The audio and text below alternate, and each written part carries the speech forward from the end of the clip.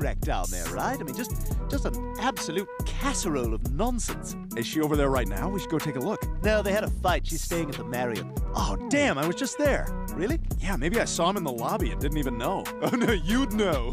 Oh, man, what, what do we call him now? We, we still call him Dan? No, and I'm not crazy about the name change. What is it, like Danielle or Dana? No, Ida. Uh,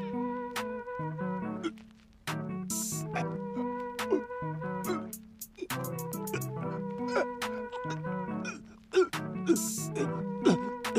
Ah! What?